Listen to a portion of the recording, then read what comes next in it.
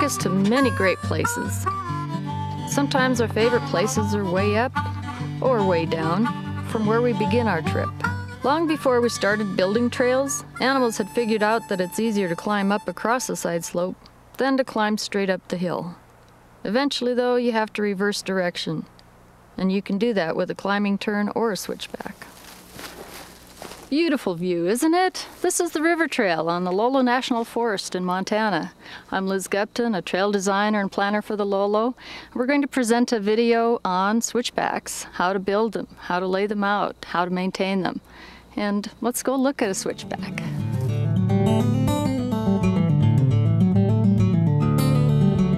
I want to start out by talking about climbing turns, a related but easier technique for gaining elevation on more gentle hillside slopes. Climbing turns result in a reversal in direction across a hillside. This is also the basic definition for a switchback. The difference between the two is that the climbing turn follows the contour of the slope. As it curves around to head back in the opposite direction, the gradient of the trail is the same as the prevailing hillside. A switchback is different. It has a constructed platform that is not as steep as the hillside, and normally not as steep as the grade of the trail. Bicyclists, motorcyclists, and ATV riders often prefer climbing turns to switchbacks because the turns are more gradual and easier to make. Horseback riders also prefer climbing turns. But really, it comes down to how steep the hillside is compared with the allowable grade of the trail.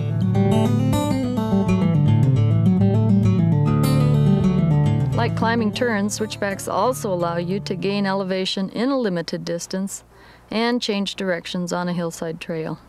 Switchbacks differ from climbing turns because they allow you to make these turns on steep slopes without making the trail too steep. The grade through a well-designed switchback is not as steep as the rest of the trail. We only have enough time to show you the very basics of switchback planning and design, most of the program is going to focus on the steps that we went through to lay out and build a site-specific switchback, assuming that the larger planning decisions were already made. But you still need to know some of the basics of planning and design. I can't emphasize enough how strongly I rely on the standard specs and drawings. Whether you do the work yourself or contract it out, you can get high quality and consistent trail work if you follow the standard specifications. You also should be familiar with the Forest Service Trail Management Handbook. It gives you guidelines for building trails for specific user groups. Switchbacks are among the most expensive trail investments you can make. So look for places where you can build climbing turns instead. As a general rule, the fewer switchbacks you have to construct, the better. Vary the length between switchbacks. Uniform switchbacks stacked up a hillside are monotonous. They also require more control of the drainage between them. Try to fit your trail to the mountain. And as long as you can continue to gain elevation, keep the legs between switchbacks longer rather than shorter.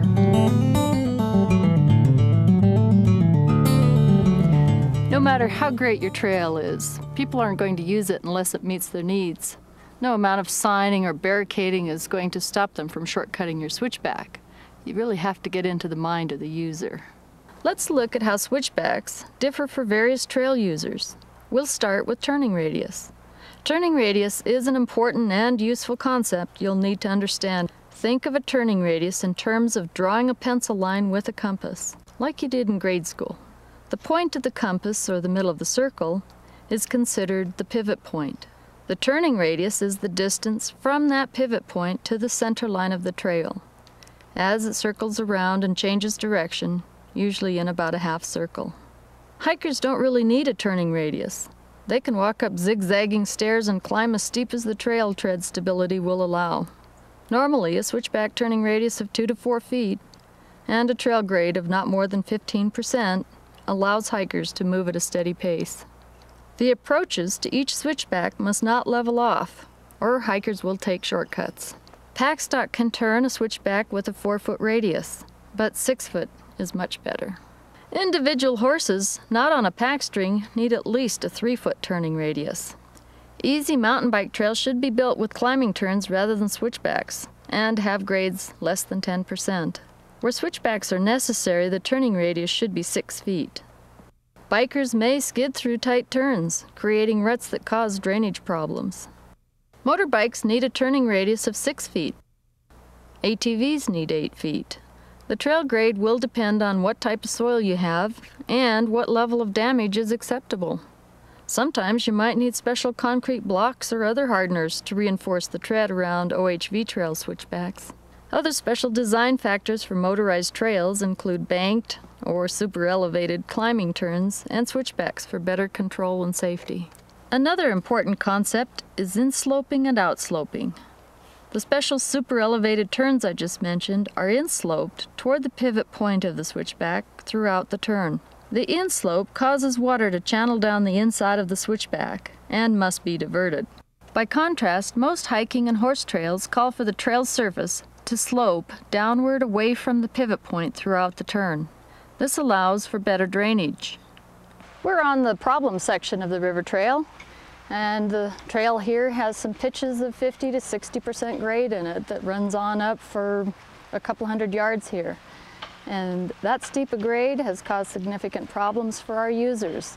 Lost a horse right in this area, had to put it down, and hikers have gone off and bikers, so we need to fix this problem. And how do we do that? We put it up on the hillside, le lessen the grade and put a switchback in so that we can come back to the main trail. So let's go do that.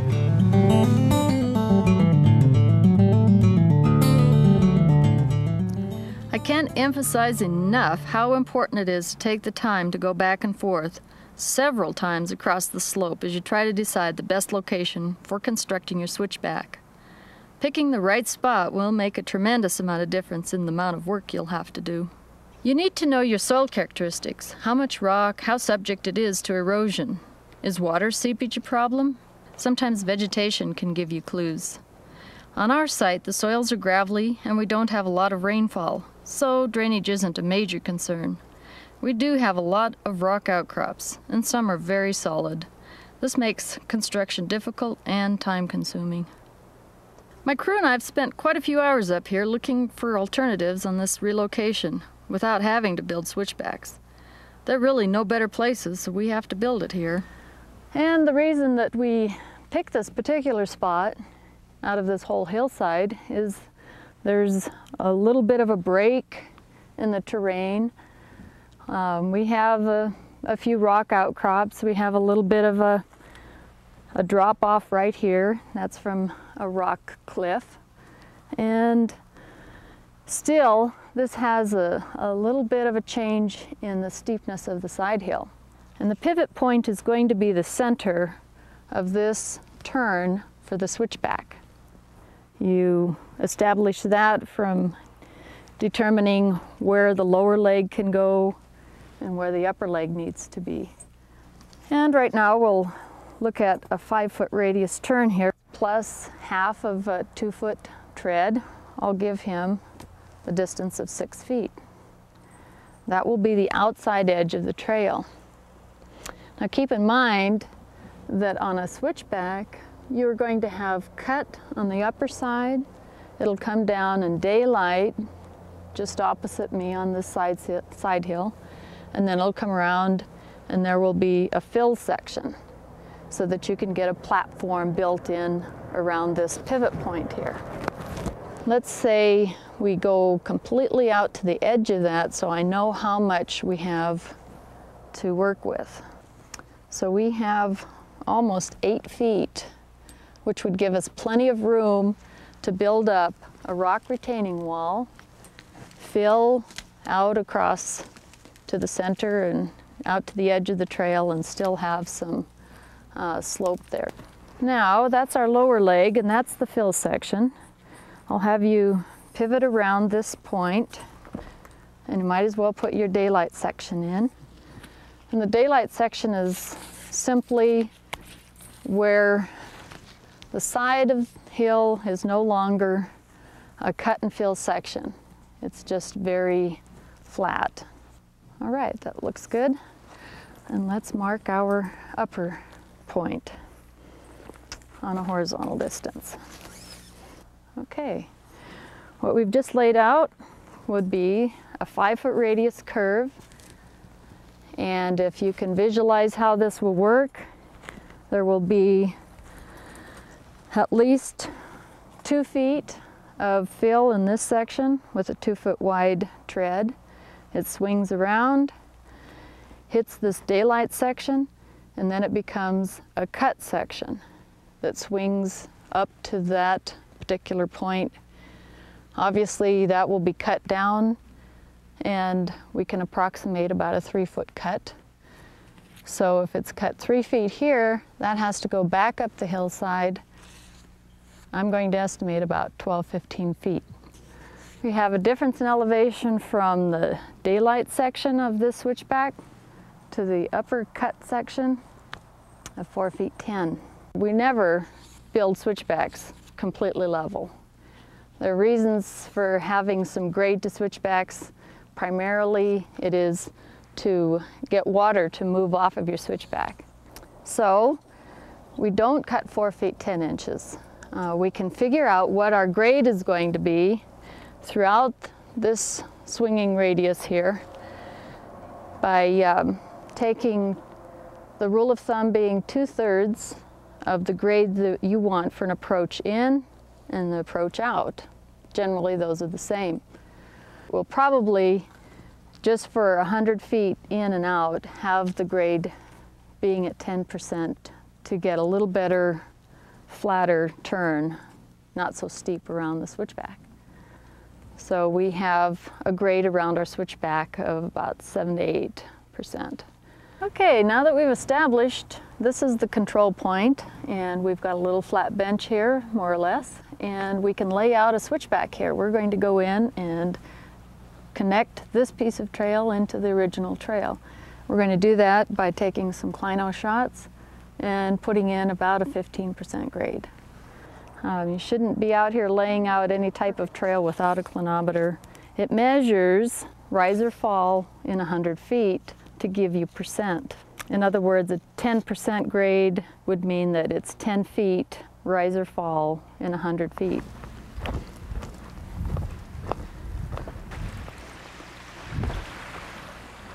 Okay, Justin, we're almost online here.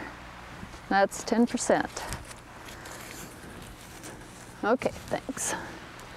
Well, we're back on our original trail and we've established a grade line here. We've tied in and we've cut off a lot of our very steep washing trail up above us.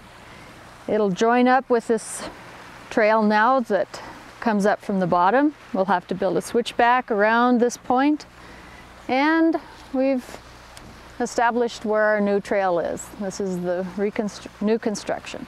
So the next step is to go up and build a switchback.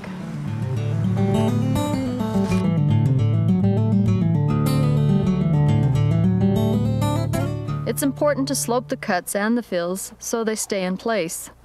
Otherwise, they will quickly slough away and your switchback will disappear.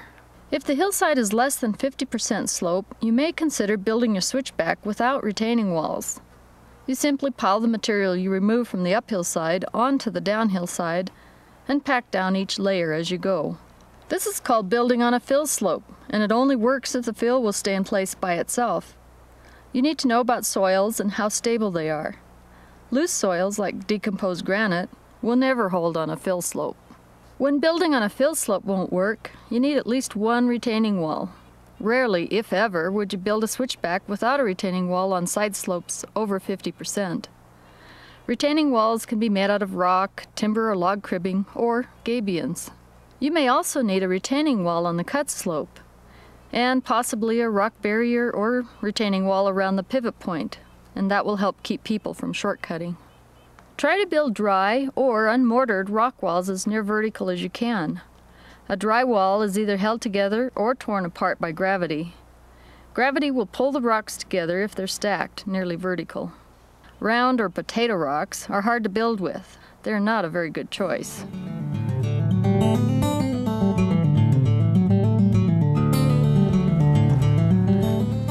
Right, so we're back. We're up here on this bench and we've posted signs on the trail below to tell visitors that trail work is in progress. Okay, now we're into the construction phase of the switchback. And There are several things that'll go on simultaneously, but one of the first things that we need to establish is where the retaining wall, where all these rocks will be laid out and layered in appropriately. Then that starts the position for all of this fill on top to come down and layer in on top of the rock. So we need a retaining wall. We need to clear some of the vegetation so that we're not filling on top of grass and duff that does not compact very well. Let's get started. We'll start with the switchback and not build the last 50 feet or so of the approach trail at either end until the switchback is well underway. That allows us to get the drainage just right to conform with the final switchback. It's a lot easier to adjust the approach trails than it is to move the switchback to fit the trail. Okay, Charlie, then once we get the vegetation off, what we need to do is get uh, this at an angle, this material here, without taking the edge off.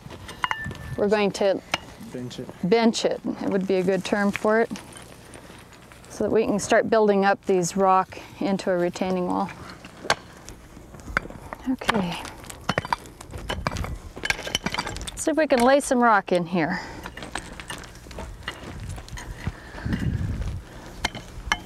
Okay, now you can continue around the turn of the curve here, coming up the hill now. What we still have in position here is the lower leg, the center line flagging that will give us an idea that that is the center of the trail here. We've already got a good retaining wall established, the base part of this retaining wall. We're going to take it all the way out to where the run out of our fill for the tread will be. Now the important thing and concept of getting these rocks placed is so that they will not shift and they won't slide once you start filling on top of them. And in fact, the shape of the rock, that where it slopes into the hillside, that means that gravity is going to work with you on these rocks when you start filling on top of them. So you need good, solid, big rocks for your base rocks, and you need to key them in to the slope. And that means having a slight angle into the bank, and then that accepts the fill as you start bringing your wall up. You have to build enough of the wall to have a place for the material you dig from the uphill side of the switchback. Once you have the wall partly completed, begin digging just as far uphill from the pivot point as your footing was downhill. Tamp the fill as you go. The switchback is starting to take shape. Your turning platform will become more and more level.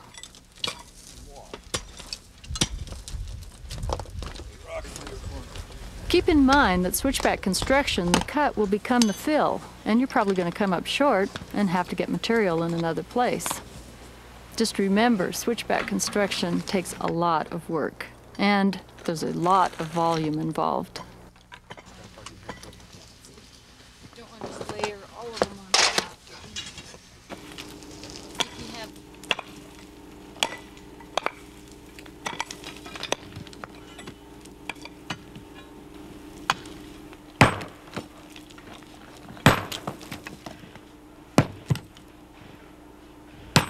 Well, as we stand now, we've raised this ground nearly three feet, layering it in rock and gravel and then more rock and gravel. And what we're gonna do is kind of swing it around and tie it in with this section here. We're gonna take it down about a foot, foot and a half. But this rock kind of poses a problem right here. We've been banging and pounding on it all day and trying to pry it out, but it's just stubborn. So what we're gonna have to do is blast it, see if we can't get it out then, and then, uh, then all this will tie together nicely.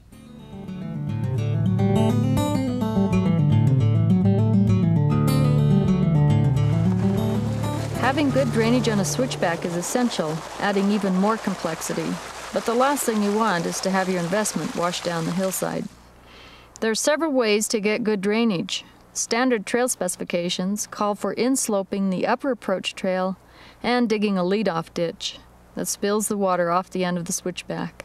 We used to construct water bars at the center of the switchback at the daylight section, but this creates a hazard for mountain bikes, so now we recommend building a drainage structure at the top approach. When you do that, be sure you drain it at the lower approach with another structure. Okay, what we're going to do here is construct what's called a rolling dip.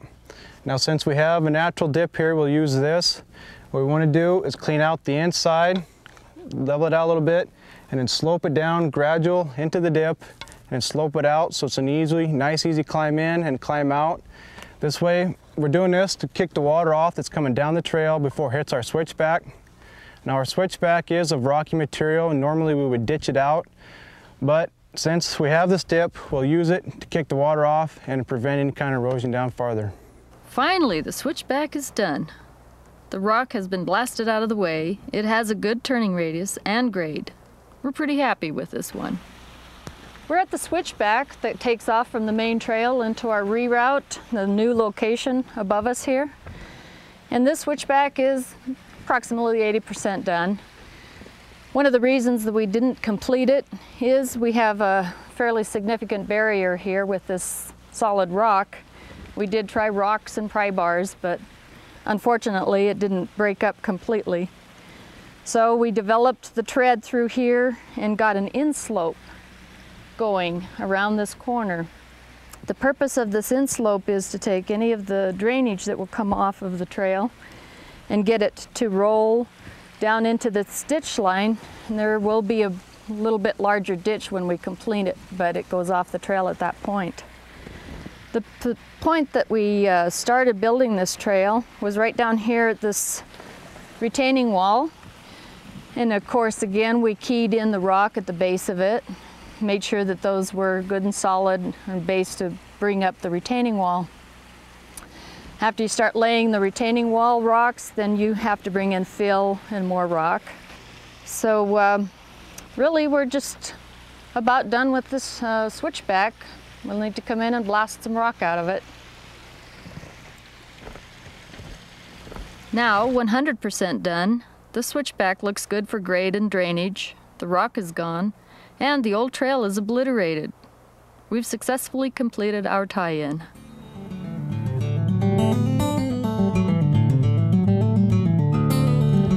This brings us to the bane of most trail crews, blocking off switchback shortcuts.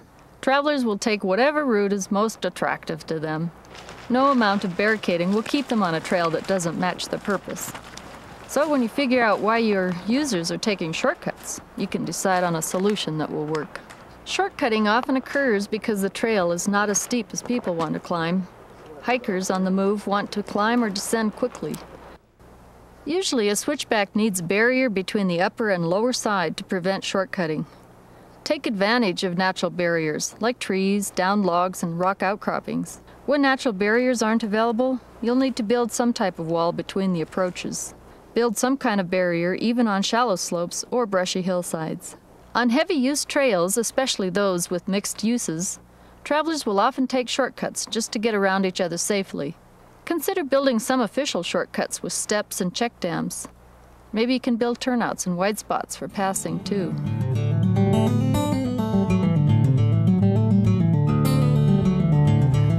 When it comes to switchbacks, 90% of the work most trail crews do is either reconstruction or maintenance, not new construction.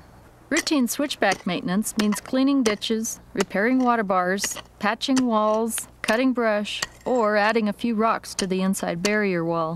But if you have a switchback that needs a lot of work, over and over, there's some inherent problem with the structure. You need to figure out what that problem is.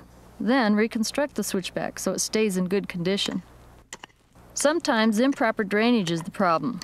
If the switchback has an inside ditch that doesn't seem to collect water, you can build a rolling dip or a short grade reversal at the point where the upper trail begins its inslope. This is an example of a switchback that was constructed and either wore out or just didn't have the proper construction in the first place. It's on a steep side hill here, probably 60% grade. So the solution to it is to uh, construct a retaining wall on the lower side and then pull the cut material down into the retaining wall. That will create a platform that will make a better transition across the switchback. The solution to approaches that are too steep to the switchback is to extend the pivot point further out on the hillside, lengthening the approaches. Be careful though, because that might encourage shortcutting. Repair any skid trails left from dragging rocks or logs. Finish by reestablishing vegetation. You may buy or collect native seed to spread on large disturbed areas. At the least, you should mulch bare soil with duff, dead grasses, and leaves. This is more than just a finishing touch. It can be a big project, something you should think about when you decide whether or not to relocate a particular section of trail. So, I hope that some of these ideas and concepts that we've shown you in this program will help you in your next project. And remember, if you build your switchback right, with routine maintenance, they'll last for decades.